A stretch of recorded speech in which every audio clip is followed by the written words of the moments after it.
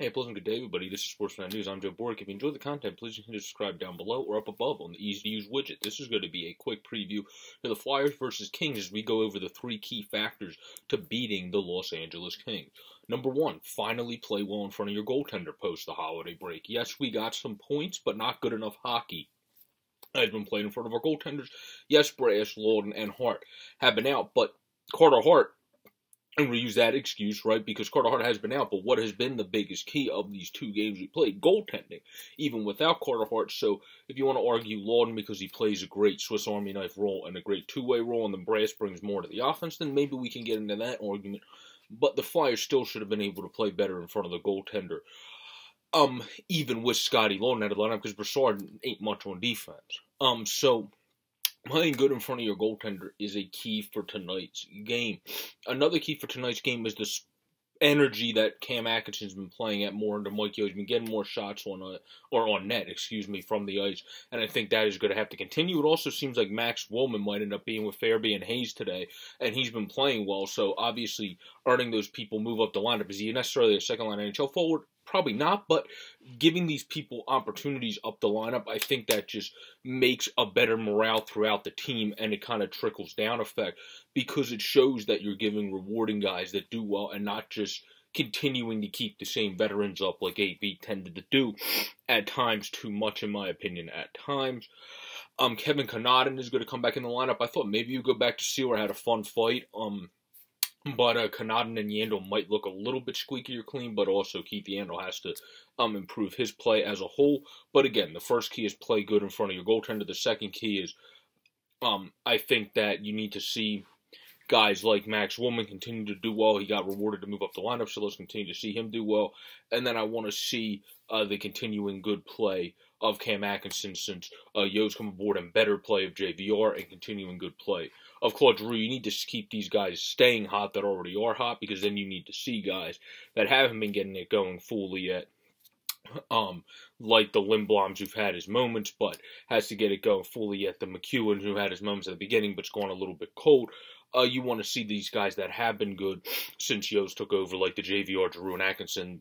All three of those guys in those lines have looked better uh, since Yeo's taken over, other than Giroux, who's looked great all season. Willman's looked fantastic since Yeo's taken over. Hayes has looked good, and then Farabee's looked very good.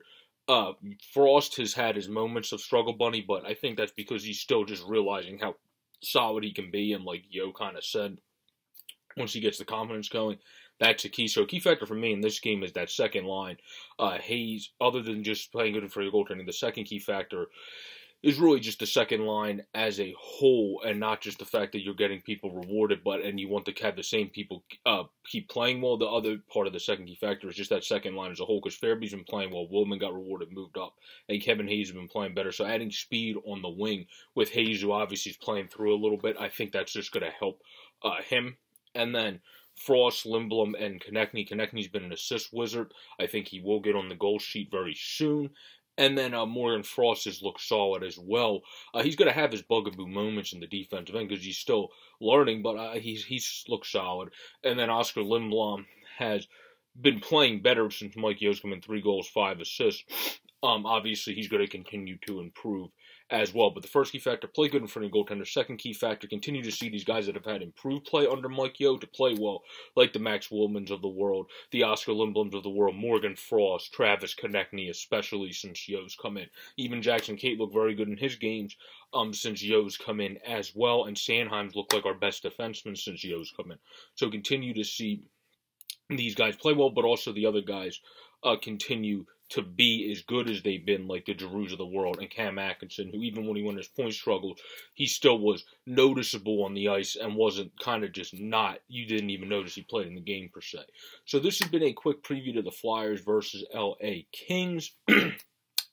I think Martin Jones can beat another one of his former teams um, if he is just able to get a better play from the Philadelphia Flyers in front of the net. Play better in front of the net. Continue to get good play from the guys that have been producing this year, like the Atkinsons, Giroux, the Sanheim, and uh, Brauns. And then have the guys like the Willmans, the Cates, uh, the Lindbloms, and also Farabee's been producing this year, the TKs and all the rest of the bunch that have been doing much better since Yeo's come in. We have to continue to see that, but we also just have to continue to see the way to get points. Yeah, it's great to battle and get points, but play the hell better in front of your goaltender. That's the main key to tonight's game. To be able to get a win for Martin Jones against one of his former teams, the Los Angeles Kings. Peace out, everybody. Stay safe and enjoy the game.